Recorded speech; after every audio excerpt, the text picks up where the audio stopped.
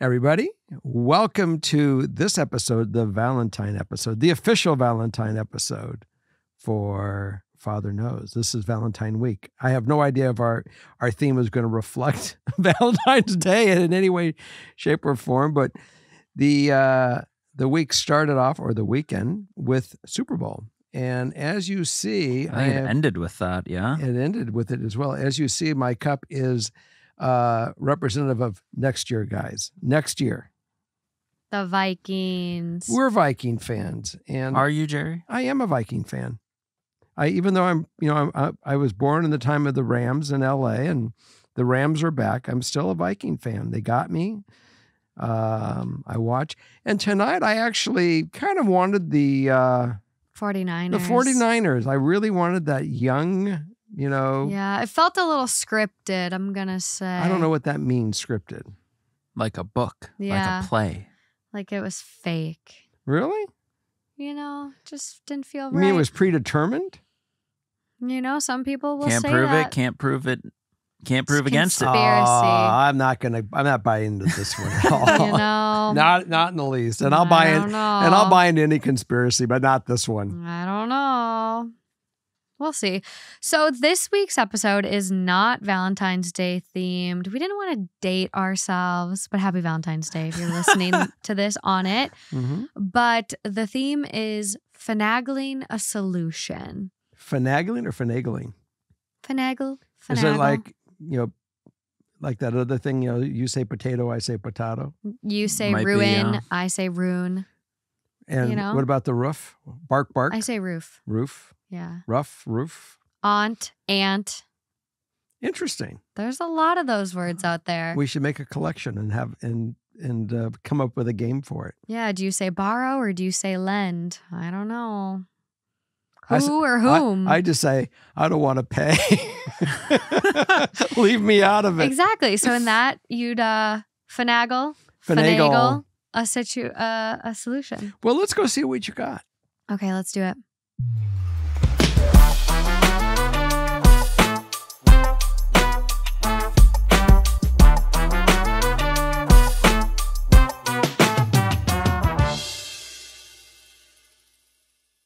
You say finagle, I say finagle. Oh, Justin's starting us off oh. today. oh. I say potato, you say potato.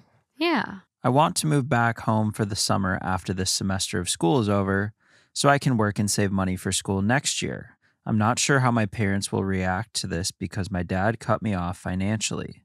Some background My parents have a large hobby farm, so when I moved away for college, I got depressed because I didn't have any animal friends. I talked to my therapist, and she recommended I adopt a pet to help with my homesickness. So I adopted my cat and I've been doing much better mentally. When my dad found out that I adopted her, he went ballistic and ended up cutting me off financially. for a cat. He's okay with me bringing her home for breaks when I come visit, but I'm worried that if I tell them I can't afford to live in the dorms this summer, he will try to make me surrender the cat. That's not an option. What should I do? How should I approach this? Do you have any uh, other ideas on how I can stay here instead of going home? The only thing that really comes to mind right right off the bat is get a job there. Find a job nearby that you can be on your own, you be self-supporting, and he can't control you. That's the first thing. I mean, it, I I I don't understand why a father would have a fit, but you know, I'm not. We all think differently. We all have our own, you know, good word, mishigas. we all have our own shtick. Everyone's a little quirky. Yeah. So the to to go finagle your way back into your dad's house with the cat, I think the right answer is don't even attempt it. Just go out, look for a job, and you now have your option. If your dad says you're going to come home, you'll say, you know, Dad, I'd love to come home for the for, but I do have my cat, and I know because of the um, the response I got, you know, from you when I got the cat, I wasn't dare going to try to put you into a, a situation where you had to, you know, be upset with me to come home and bring the cat. So I got a job. Yeah. What do you guys think? Um, for me, I would not mention money being a thing at all. I'd say, hey, like, I'd love to come home for the summer. are you guys okay with me moving home for the summer? Obviously, I, I'm bringing my cat, but you guys won't contribute anything towards her. You know, I'll be, I'll be working this summer. I'll be, you know, blah blah blah blah blah. Whatever you're gonna do to make money while you save, so you're ready for school next year. But I wouldn't, I wouldn't tell them, oh, I'm moving home to save money. Say you're moving home because you miss them. You Mhm. want to live at home for the summer. There you go. They're able to bring their cat when they go home for breaks. So it's kind of one of those things where it's like, well, what's a couple extra weeks or a couple months? Like, Mhm. eh, as long as he's not paying for the cat, how much? know? How much is a cat, Morgan? it is probably, I mean, vet bills unexpectedly could come up, but food wise, I don't know, 50 bucks a month for a cat, maybe a 100 if you're going real crazy on fresh cat food, maybe 400. I don't know. The, the bottom line is it's probably not about the cat, it's Mhm. probably about control in some way. Mm-hmm. But, you know, moving home does help a lot. Staying in dorms is expensive. So I would just kind of white lie this one to get your solution here. Well, try it, but I, I would also certainly have a backup plan by looking for a job in town, something you can do there because it it it might offer you a whole different uh, path in your life that you'll meet people, you'll have different experiences, and it- and it might give you a great foundation. So either way, I think that uh, look into the job, see what you find, and then you know certainly tell your parents that just in case you know I'm gonna I'd love to come home and, and hang out with you guys for the you know for the summer. What do you think? So when you say get a job, though, you mean by the school. You don't mean get a job back home, right? I, I was saying get a by job. By the school. Yeah, To and- still and stay in stay- the dorm housing. Yeah, and find find your environment there. I mean, there is. I mean, you you may find a job there. You may you know find some other friends. It it in the event that it doesn't work. I- Yeah. I, know in the summertime dorms are cheap because people go to the dorms when they travel to go visit family. The they they sometimes stay in the dorms It and they're cheap. Depends. It depends on the school. Some of them, like my university, shut down their dorms for the summer. Mhm. So I think it depends on the school. But I know, you know, obviously there's a lot of other off campus housing, apartments or houses that people leave for the summer and try to sublet. Mhm. So that might be a cheaper option. Um, I sublet. I sublet from a friend of mine, and I literally paid three hundred dollars a month. Like it was because he didn't. It was either he pays and doesn't live there, or Mhm. like I take a little bit of the burden off. So there's there's options like that too. I I don't understand the comes home for breaks and it's cool, but absolutely a problem if you move there because it sounds like it should be with the response it should be all or nothing. Yeah. But it's like oh, it's fine on breaks, but I just think of those videos of dads on TikTok where someone brings home a puppy and the dad is anti animal, anti puppy, any of that This guy right here. and I- then and then they're there for a little bit and the next clips Oh are my god, all they're besties. the dad cannot be separated from the dog and Yeah. they are best best friends Right. I Mhm. mean, I I have a daughter. I don't know if any of you guys know this. I have a daughter that you know brings animals home and then says bye. When was the last time I brought an animal home? Seven uh, nine years ago. What animal was it? Holly. Holly is 16 years old. Right. I didn't bring Holly. You brought Holly here. You knew Ho- you Ho- were getting stuck Holly, with Holly. Holly didn't come in on a truck or about, wait. Holly didn't get here in an Uber. No, but you knew. So back in Minnesota, we had three dogs in Minnesota two Yorkies and a German Shepherd. Holly started to get really, really, really aggressive with the German Shepherd, constantly provoking him and attacking him. And it got to the point where the German Shepherd was just trying to like keep her away. And so he like would defend himself, but Holly was a terror, An terror to him. just vicious She was really bad.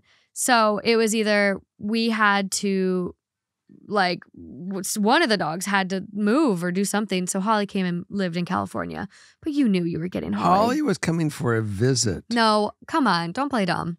i've seen that side of holly firsthand Yeah, Yeah. Holly. i've felt the effects of that Holly attacked Justin. Holly- She's vicious. When I first met her, Holly bit me and I bit her back.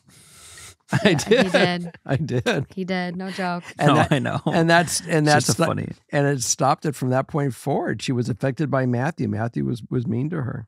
No, Matt wasn't even mean to her. She barked at him in the driveway and he like threw a baseball glove up in the air and it happened to hit her and just she was a nut.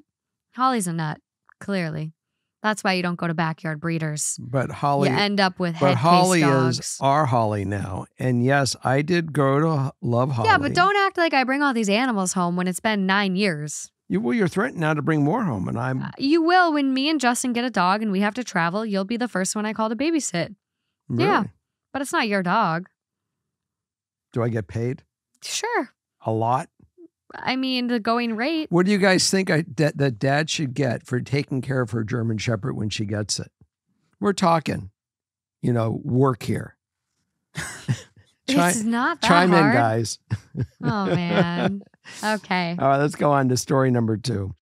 I, 25 female, have been with my husband, 30 male, for seven years, married for six. In those seven years, we've had someone living with us for all of six months. I'm the oldest of five kids and have had three out of four siblings live with us at various points for various reasons. Most recently, my mom has been living with us and since has moved her husband in, my stepdad, with little to no conversation. Over the summer, my husband had to go to training for the Air Force out of state for three months. My mom, who I truly believe had the most sincere intentions, moved 3,000 miles to help me with my son, who is now 18 months old. Now, this is where I may have fucked up. I didn't set the appropriate boundaries from the beginning. I want to be clear. I never asked her to come. I fully appreciated it, but I never asked her to move. She moved her entire life without much of a conversation. For weeks, boxes were showing up at my door and being stacked up in my garage. I had just lost my dad three months prior, so I wasn't in a great place mentally. Piling on my husband being gone for a long period of time and essentially being a single mom, I was doing my best just to keep my head above water. My mom was an, an immense help for the three months my husband was gone, but my husband has been home for four months.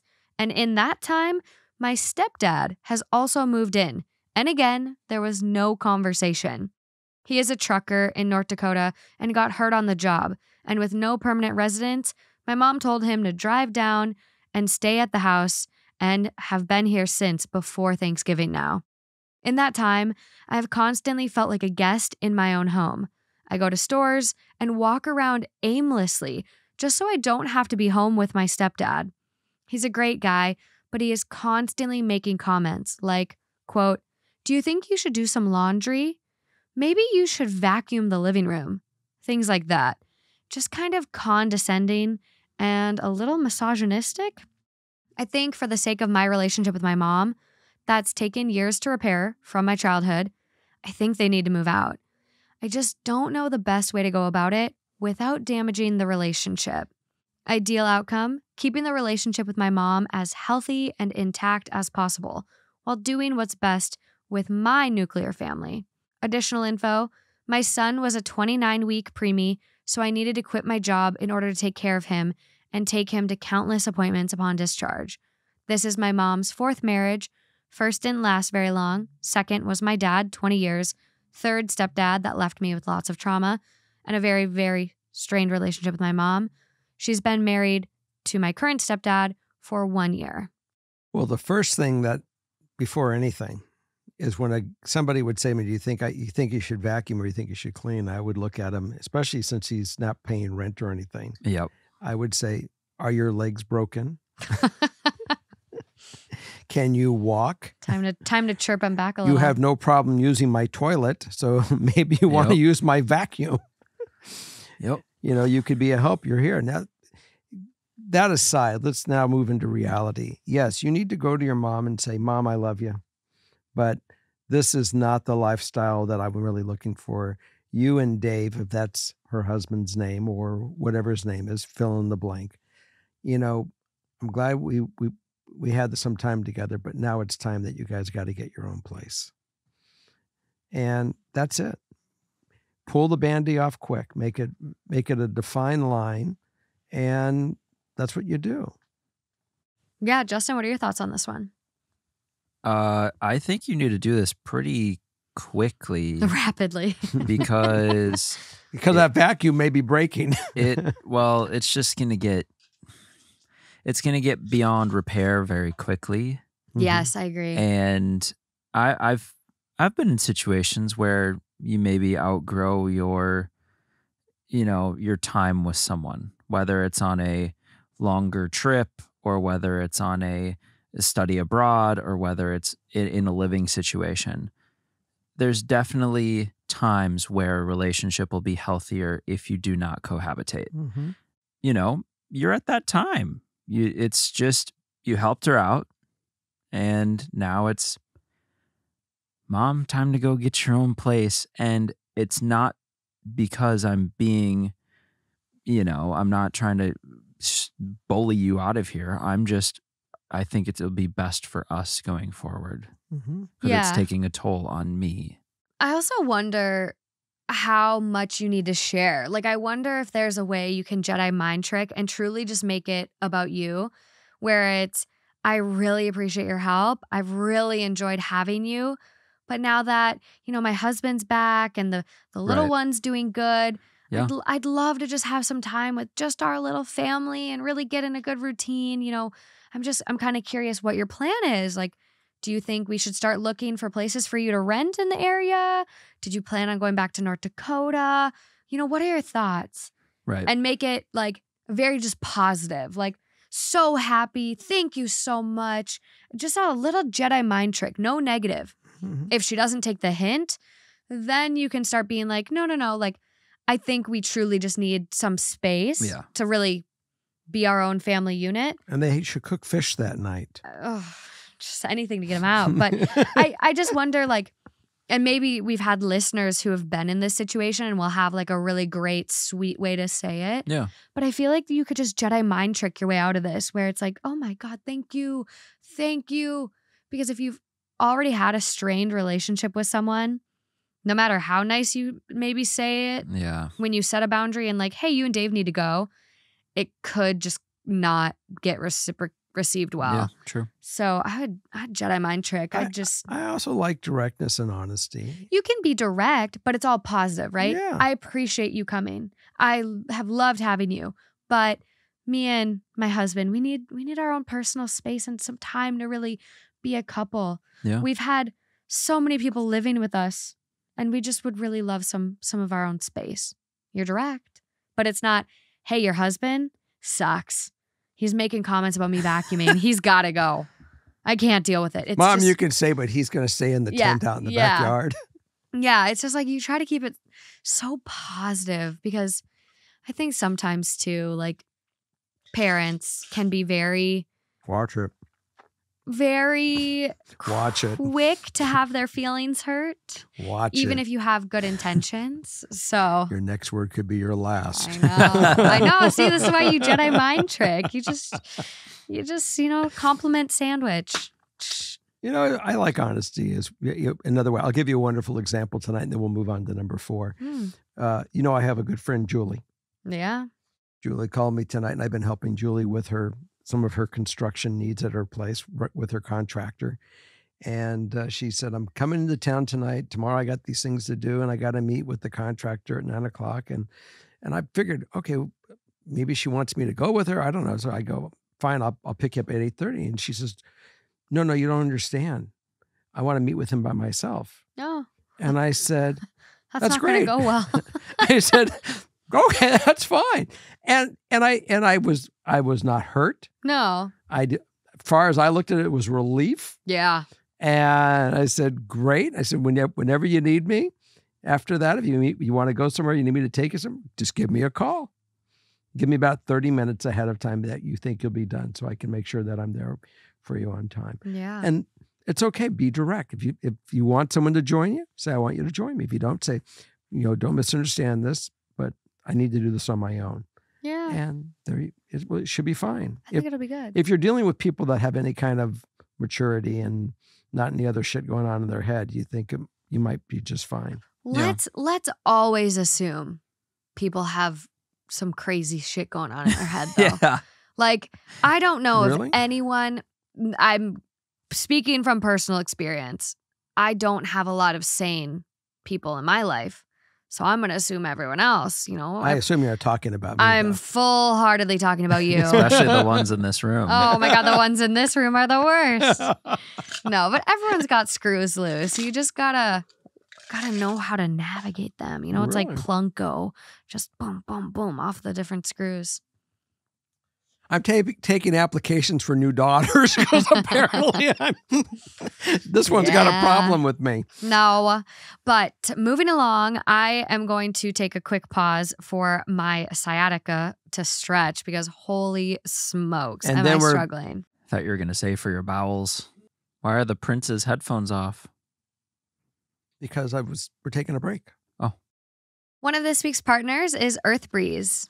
One of my resolutions this year and just going forward is loud budgeting. I want to spend less money, make choices that are better for the planet, better for my health, all the above, which is why I'm so excited to share Earth Breeze. These eco sheets are changing the game. Unlike liquid, powder, or capsule detergent, Earth Breeze looks like a dryer sheet, but it's actually ultra concentrated detergent. And it is beyond easy. Just throw a sheet in with your laundry and watch it dissolve in any wash cycle. There's no measuring, there's no mess. And best of all, there's no wasteful plastic jug. And my favorite part Earth Breeze is dermatologist tested, hypoallergenic, and free of bleach and dyes. And I did fragrance free. I have really sensitive skin, and laundry detergent was giving me rashes. Do you want dye or fragrance on your skin all day, every day? No. Earth Breeze, baby. And if you get Earth Breeze, end up not liking it, that is okay. You just let them know and you will get a full refund. No questions asked. Right now, our listeners can get started with Earth Breeze and save 40%. Go to earthbreeze.com slash FKS. That's earthbreeze.com slash FKS for 40% off your subscription. Number three. Number three. See how I did it? Look. See? yeah, good job. One, two, three. Yeah. I'm not sure how to see eye to eye with my fiance on parenting our son. My fiance and I have a two year old son that has definitely been hitting his terrible twos stage. We both didn't have very good upbringings. I grew up in a mentally and verbally abusive household, and he grew up in a physically and mentally abusive household. One thing I've taken from my childhood is I never want to cause my child the pain that we went through. I get along with my parents now, but I will never take parenting advice from them. My fiance, on the other hand, will take parenting advice from his mom. Due to his culture, he has no problem with what his mom did to him growing up and worships the ground she walks on. I know that it's his personal choice, so that's not where I have the problem. They will constantly criticize me together on how I let our son walk all over me and that I baby him too much. I have done an extensive amount of research on parenting due to not having good role models as parents. This is all very new to me, but I want to do it the best that I can. I just never want my child to be scared of me the way I was of my parents. There's a fine line between gaining respect and scaring them. My fiance, on the other hand, has not looked into parenting as much as I have. He acts off of pure emotion and low patience. If our son starts crying about something, he'll yell at him and put him in a timeout and threaten to spank him. When I try to talk him down in those situations, he will shut me down immediately and will even yell at me. There's been times where my son has wanted me during a tantrum, and my fiance will literally block me from being able to pick him up. He won't even try to understand my research and point of view. It's all too sensitive for him. He will even embarrass me in public if I'm not punishing him good enough by verbally criticizing me and even laughing at me. I'm just really not sure what to do. Ideal outcome to try to find a better way to communicate about parenting methods and to get him to see my perspective. Additional info my fiance does have PTSD from when we were in the military, so that's where some of the low patience and anger comes from. He has been mentally abusive to me as well. I'm going to be sarcastic for the moment. I was brought up this way and I'm fine. Ever anyone ever heard that? Clearly not fine. Clearly not fine. Yeah. You know, my dad, I'm I'm I'm off the sarcasm now. Back Okay, back back into reality. Okay. My father came out of World War II. And my father was definitely affected by the war, by the army, by that lifestyle, and being under George S. Patton, who apparently liked to yell. Um, you know, my dad was a yeller, and I decided when I became of age, I'm not going to have that in my life. I'm not going to be a yeller. And best I best that I can recognize, there are times that there is some, you know, easy yelling in the house from room to room. Dad, can you get me this? Or Morgan, can you get me that? Yeah, but that's not like yelling, Right. yelling. I know that. Yeah. and but yelling to me is is a trigger my first thought as i was hearing this is you guys need counseling right off the bat because babies don't come with a book that says this is how you do it.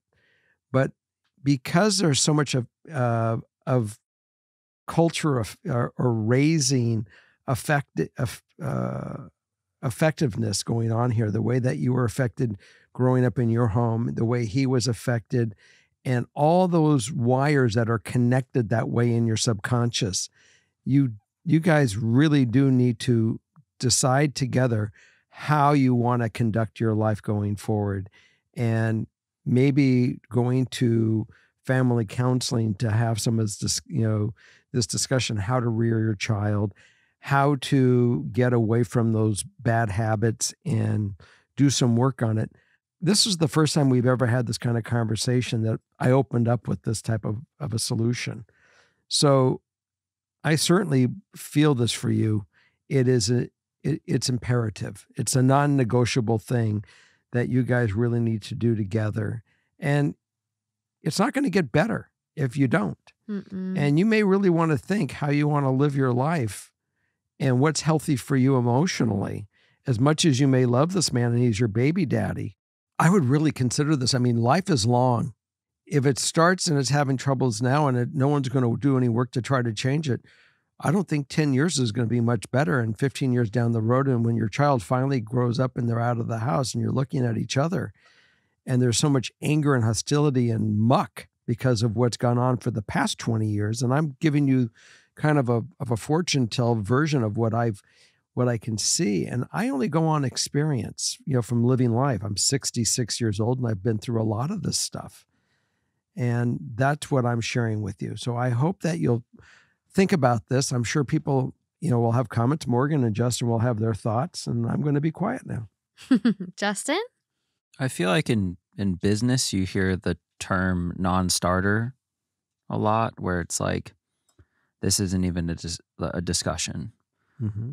And when it comes to things that take collaboration like this, Mm-hmm. where it's both of you acting as a team to accomplish a task, whether it be parenting or anything in your relationship, I don't think there ever should be a non starter. I think everything should be negotiable. I think you should be able to talk to your partner about anything. Mm-hmm. And though they may not change, I still think it you should be able to talk and go back and forth, at least in a, in a perfect world, seeing the other person's point of view, making them feel heard, you know, trying to articulate without being a brick wall.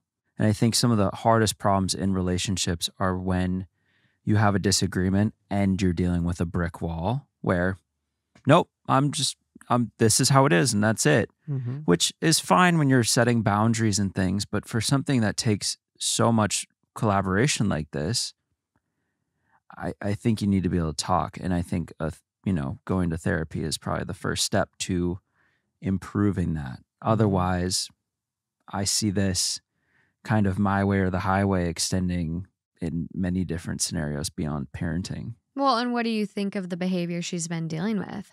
it's verging on a territory where you start to question the relationship. Because if you can't solve this with therapy, then are we happier as co-parents and will our child grow up in a better environment as a sep- to you know sep- a broken home but a happy broken home versus a sad tumultuous abusive together home Yeah, I mean, here's what's hard for me.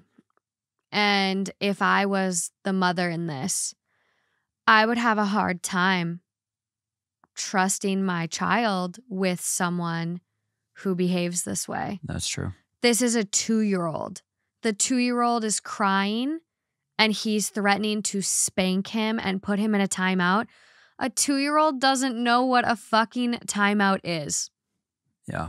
They are two. You're trying to spank a two year old. You're berating your partner in a store because your partner isn't punishing them enough or as you should. All I hear here is a partner that is incapable of being a partner. Like, I'm Yep. so frustrated by this because it's like you have her who is going above and beyond to not repeat the cycle that she went through, to break that generational abuse, that generational whatever trauma. And she's seeing it again. And she's seen it again with her partner who refuses to adapt, who refuses to just have a little bit open mindedness. And the mom, him letting his mom chime in, no. The only two people whose opinions matter are yours and his, the parents. And if he is going to have an opinion that is unsafe or unhealthy for your child, then his opinion doesn't fucking matter either. This is not healthy. And you even say it in your additional info. He has been mentally abusive to me as well. Yeah. And you have to get to the point of, is this worth it? Like you said. And I think, you know, it's hard because we have learned recently that if you're in an abusive relationship, going to therapy is actually not the greatest because the abuser can learn techniques from therapy to then abuse further and worse. It's this whole thing. So eh, this is a really it's a fine line of like how do you address this? And I think individual therapy for you would be great if you feel that your relationship is safe enough to do couples therapy. I think that would be great, but you really need to get aligned on the page of we are doing things differently. Your mom is not parenting our child and really got to set that boundary because I mean, you are going above and beyond trying to heal and make sure you have a healthy, happy kid. And you have people that are directly sabotaging you. And they're two.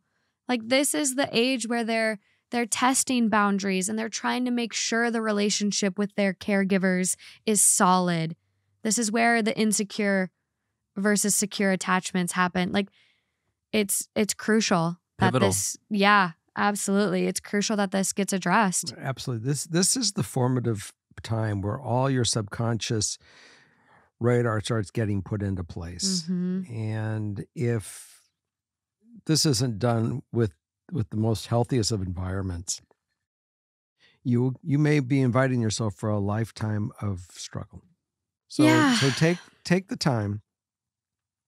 Even if he doesn't go for counseling, you go for counseling because you may just need the strength to, you know, to be able to say, you know, I know this is wrong and I got to make a move. He's got to partner with you. And I do know one thing that our subconscious is so uh, astute that it sometimes puts us in the environment of what we grew up in without even realize what we're doing. We look for the wrong people sometimes. So this is a time that you take with him and together try to go down try to go down this this path where it will be one of health and happiness for you guys and you can grow because with him losing his shit that's just telling me he's not mature and he he can't handle it Well, and he does have PTSD as well from their service in the Mm-hmm. Right. military. i started with that And so it's one of those things where if he's not putting in work to do individual therapy, Mhm. he really should. I mean, absolutely I know there's services for military um, and veterans and things like that. So especially with ps with, with post-traumatic right now ptsd Uh, yeah, and it's it can be challenging. I know, you know, some VA benefits aren't it, it can be a process of advocating for yourself. Um, but this is something I would really, really try to get on top of because you want a partner. You want, you know, you fell in love with this person for a reason and it's it's addressable. i do agree Another one of this week's partners is Hungryroot. I have a sensitive stomach and I've turned into a pretty particular eater, which is why I love Hungryroot. They make getting high quality groceries simple and easy, and they come with amazing healthy recipes that I don't have to put work into planning. And I can still stick to what I like and what I'm trying to achieve. Hungryroot has so many different dietary needs you can check off as you're doing your quiz. So if you're dairy free, soy free, peanut free, shellfish free, or you're maybe trying to have high protein, less sugar, anti inflammatory, immune boosting, these are all choices you can make. And it makes it so Hungryroot can send options to your door that accommodate those needs. You don't have to worry about getting stuck with options you're not going to like. Hungryroot makes their recs based on your quiz, but each order is fully customizable. So for me, I had a sausage recommended, not my style. Removed it, picked a new option, literally 10 seconds. I love that Hungryroot has breakfast and snack options, so no matter what meal,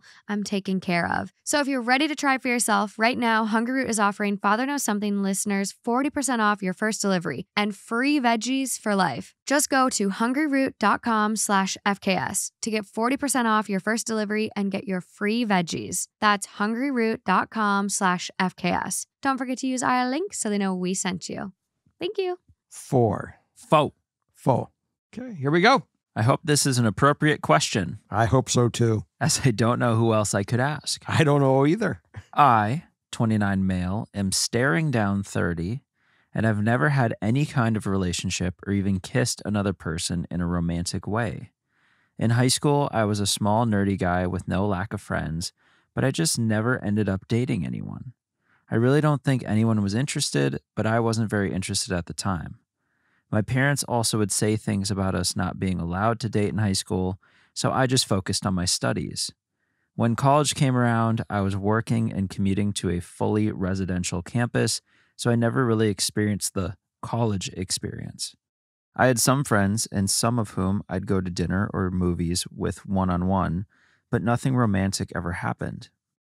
One of these friends mentioned offhand after months that we were dating, which was a complete surprise to me. She was leaving at the end of the semester, so we had the conversation and decided not to continue to pursue it. No idea how I missed that I was in a relationship. After college, I spent a lot of time working on myself and figuring out who I am as a person, which left me in an awkward spot. I am an adult man trying to date while having zero dating experience. How do I go about approaching that subject with a possible partner? Is it even something I should bring up? With the age I am and the age range of women I'm dating, I just want to value their time and not put the responsibility on them to teach me how to act. Ideal outcome I value honesty really highly, and my ideal outcome would be to have a plan on how to approach this conversation with a prospective partner. Okay. I feel you. And the reality is, you're actually in a good place. You may Mhm. not realize it. But the one thing that you have going for you is you understand that friendship is more important than physicality. And I'm not going to put down physicality for a second. Don't misunderstand that. And I think that as you are finding people that you are spending time with and you are developing feelings for, and maybe that's where we're where, where you're getting off track is you you're developing the feelings, but for whatever reason, maybe you're you're you're you're hiding them or you're um, you're you're pushing them down. There's a word I'm looking for, suppressing them. That you might be suppressing some of them. I think that you can certainly once you realize that you like them, in the beginning you can even as you become friends with them, you can say, you know something, this is I like the time we're spending and I'm glad we're building our friendship and I'm going to see where it's going to take us. You be, because you date someone that is somebody that you can kiss, it doesn't mean you have to kiss them. It means you wait to the moment that you have that bond or you have that feeling that it's there and not be afraid to take to to, to enjoy it. But yes, you can certainly say to them, "This is new for me." Uh, you watch the movie Hitch. Hitch really, Hitch hit it. You know, when you move in to kiss somebody, you'll also allow them to have the ability of coming to you. And then you know if it's something that's part of both you that you both want. Mhm. Hitch And- is a great movie. Honestly, I'd, I would watch that. I think Hitch really nailed it. Albert Brennaman. That's right. Yeah. So I am sure a lot of people are here will have comments on this one, but I think you're in a great place. And the fact that you haven't, you know, let your just your instincts or what, you know, get you down the wrong path. You're you'll you'll actually meet somebody at this point in time because really when you get in a relationship most of it's timing and you're at that time you're feeling it you understand you'd like to have something like that and as you meet these people and you talk with them and you you do decide you want to spend time with them and you guys connect emotionally when you go in for the kiss follow hitch's advice 90 10 is what it was. Mhm. You go 90 and let them come the other 10. But I, I really agree. I think being 29, it's a great age. Like people are very serious with their intentions at 29 Mhm. with dating and knowing who you are. People spend their whole 20s trying to figure that out. So you know who you are, you know what you want. As far as getting dating experience, you're only going to get it by doing. So it's time to put yourself out there, as scary as it might be. Get on the apps, go to places like coffee shops or a library or maybe a bar, like whatever fits your vibe, your style, and put yourself out there. Mhm. Make friends, talk to people.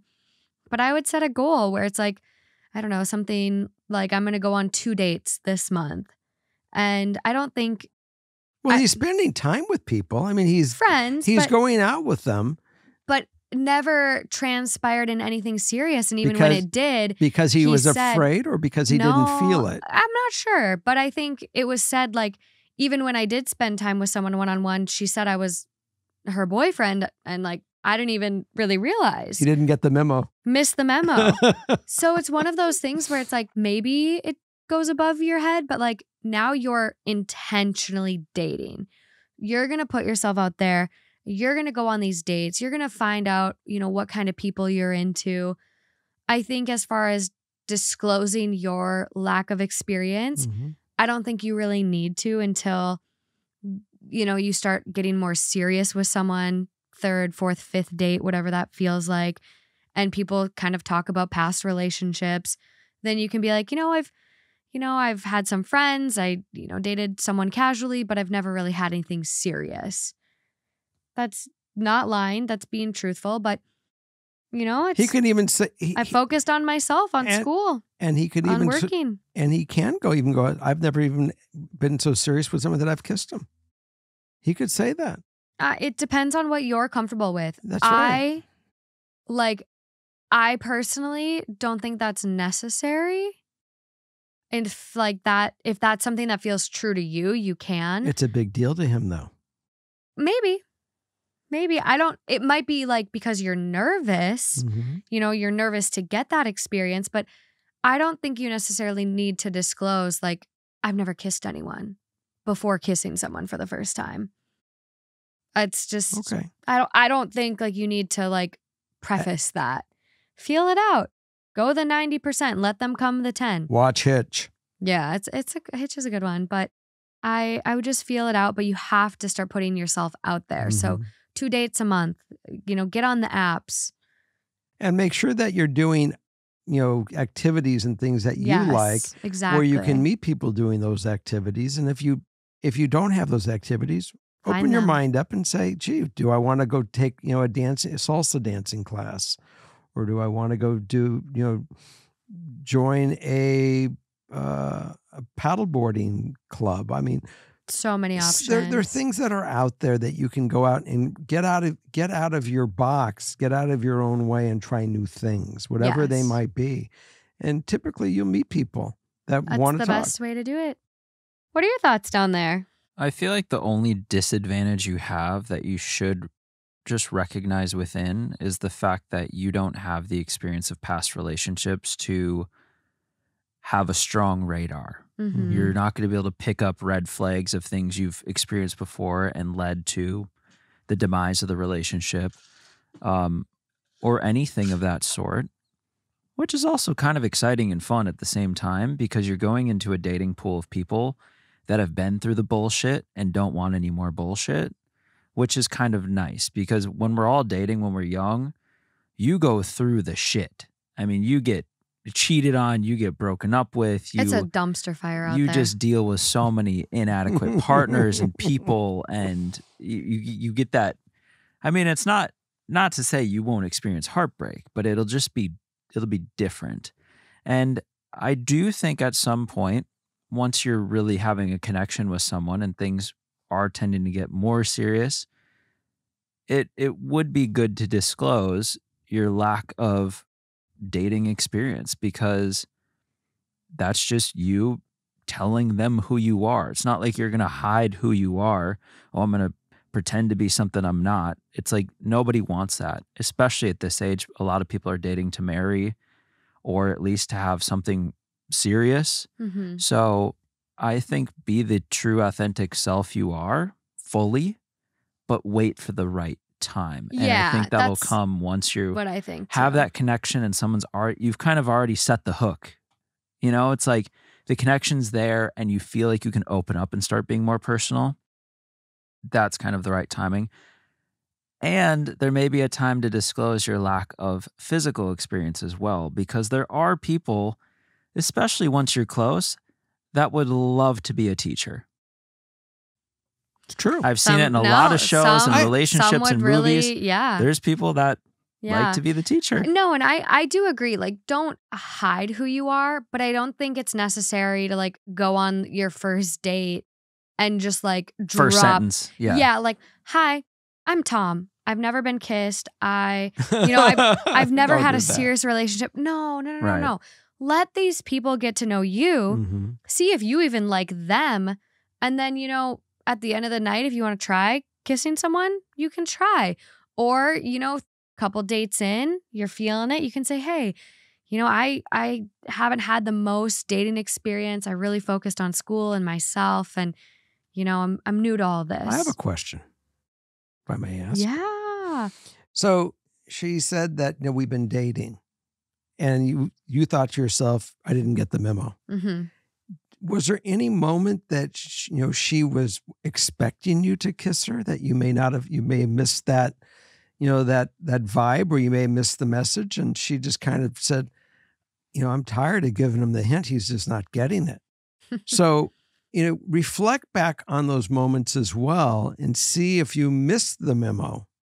So you understand yourself what the memo might look like. Yeah. I had trouble with the confidence to make the moves You back did? in the day. Yeah, I I still do I had people very confused. Are we friends? Are we something more? I I mean even me. I did not know Justin. No, but that was fully the game plan. That wasn't that wasn't that wasn't a lack of confidence. I knew what I was doing by the time I came to LA. But Yeah. but like it like even for me and Justin, it was not clear to me. He might have had an idea in his head, but I thought he just wanted to be friends. So but I had to do that. That's a that's the people know the story. But besides that, I think yeah they know the story they know. But if you're ever having trouble with making that first move, because it is kind of weird when you get to the end of date two and they're uh, just, you know, waiting for their their ride to get there or whatever, or about to go to the car or whatever it is. And there's that moment, and you know it's that moment. Even if you've never been in it, you know it's the moment. hmm And sometimes I would let that moment go. And then the whole rest of the, the night after, I'd be like, that was it. That was when it was.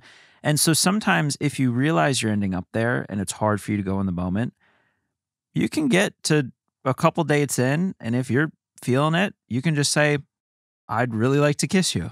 I And, was gonna and then say, if you you, say ask. it and you break the ice, you'd be surprised then how just it just Just comes naturally. yes. Yeah, I was gonna say you can definitely ask, and I feel like in today's age of like making consent very clear, I think it is like hot for a lot of people. At the end of the Yeah. date, you know, you get walked out or to your car or whatever, and like just asking, like, "Wow, like I've had a really good time tonight. Can I kiss you?" Yep. Like so many people will love that. hmm And then as soon as you get the the yes, it's like the kiss is ten times easier. It takes all the pressure off. But- it all evaporates. but follow Hitch's rule 90 10. 90 10 Yeah. Oh, you still do that for sure. Yeah. But Because- then you just ask. It's like and here's the- clear. Even what's then happening. it becomes more of a 50-50. Wait, wait, wait, here's the best part. She could be giving him his first and only last first date kiss. First and only last first. It's a lot of like, The first. yeah. Could be pretty impactful. Yeah, that's a twister.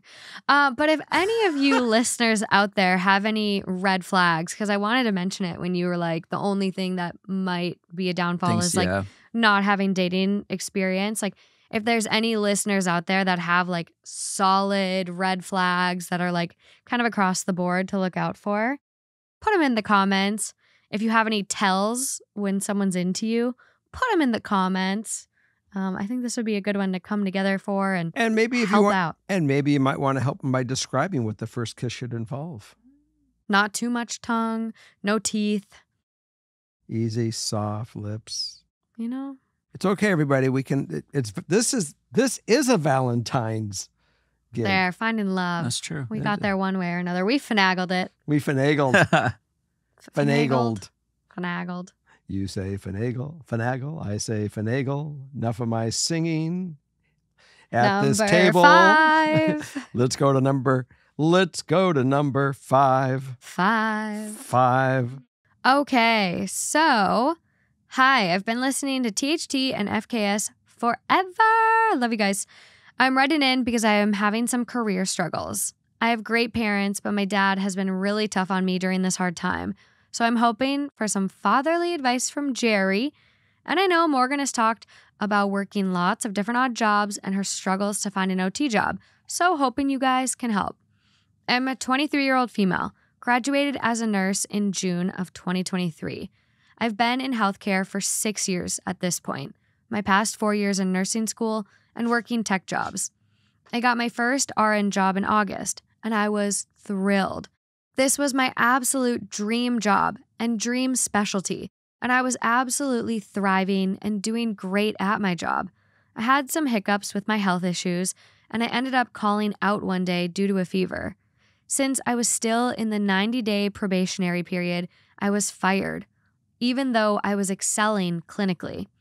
It has been a few months now, and I am applying to hospitals nonstop, but still haven't found an RN job. My dad has been very harsh on me, implying this is all my fault. To spare some details, I believe my manager was out to fire me because he found out about my health issues. While trying to get a new job in a hospital, I've been working at a coffee shop and walking dogs. I'm just really struggling to find purpose during this depressing time for me. I feel like everything I worked so hard for was just ripped out from underneath me. Side note, I do see a therapist and psychiatrist regularly. I guess I am just looking for some fatherly advice and encouragement, since I feel like I can't really go to him right now, or when I do, it worsens my mental health.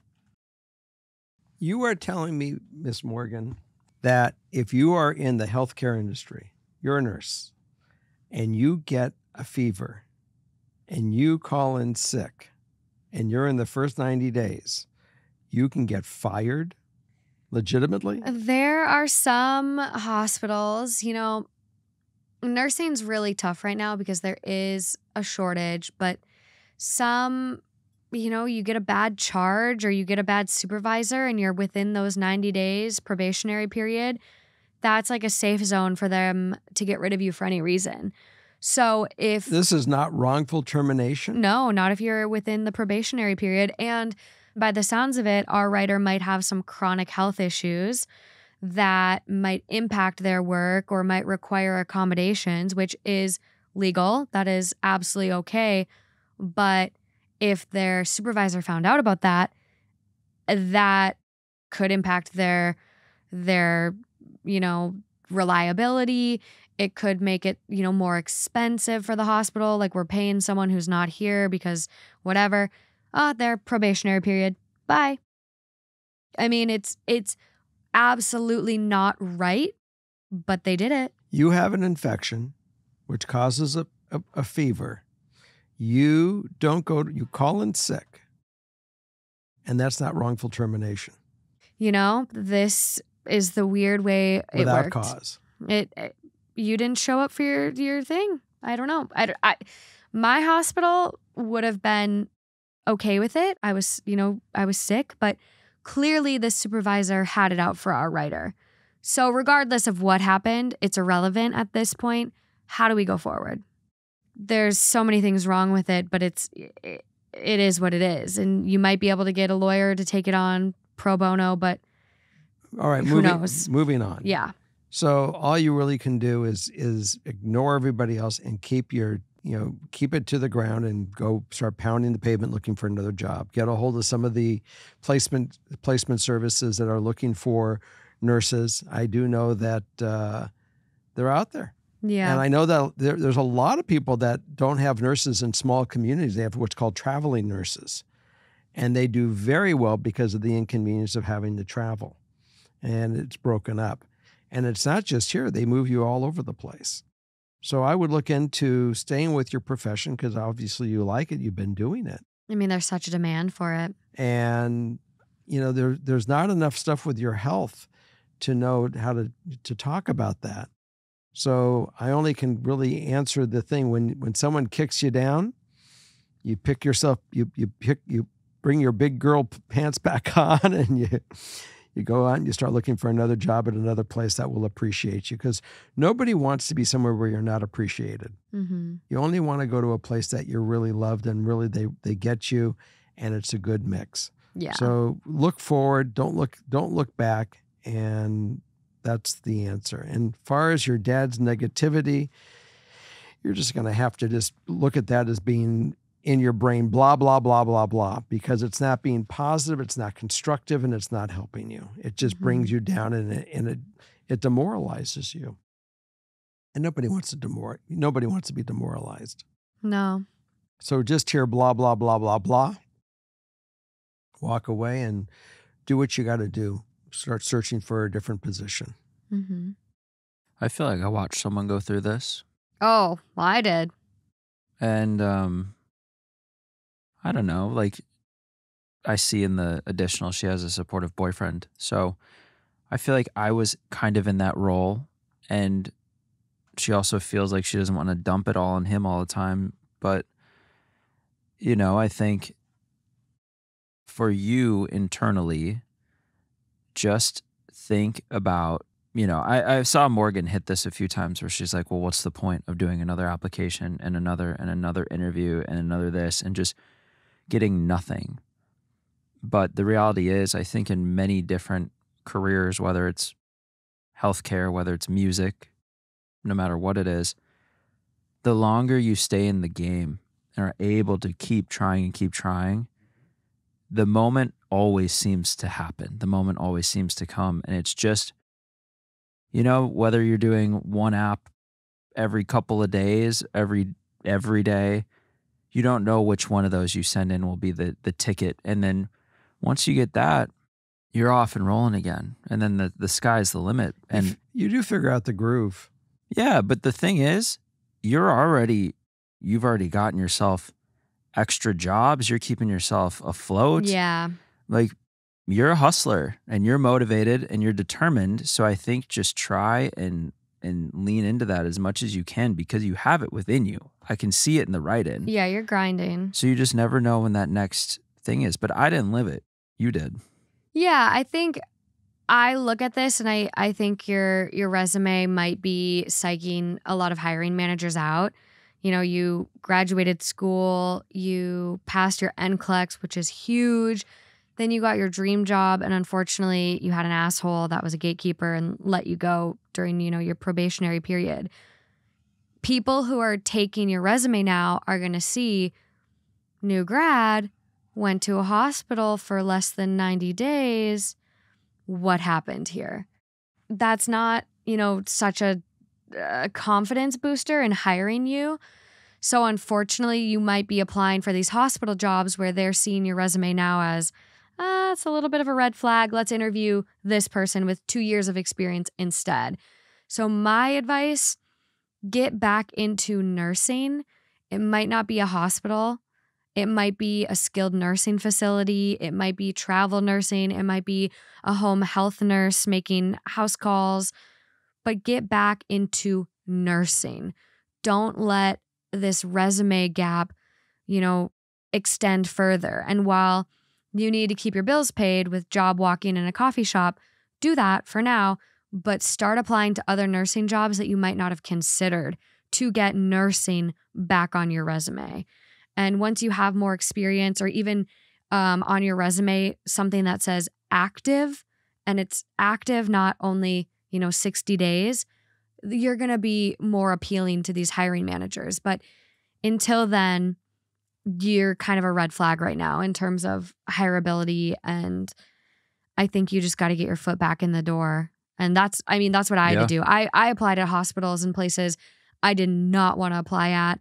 I took out my license for home health OT because I didn't, I didn't know what I was going to do and I couldn't get a job in a hospital. So, I mean, I went without a job for almost a year and I should have, you know, gotten into home health sooner. But with licensing and COVID and how it worked, like Yeah. the soonest I could is when I did. But you got to maybe expand a little bit on what you're willing to take on. And you remember one thing that when people are hiring you to be a nurse, they want you to walk in the door and feel comfortable that you know exactly what to do to start, you know, to start applying your skills.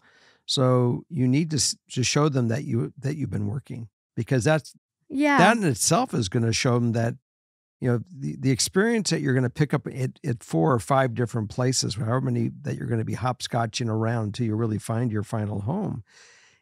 You're going to be learning things. You're going to be getting Yeah. experience because remember they say medicine is practice. it i- is. It is. It is not something that you just learn and you're done because you've learned it.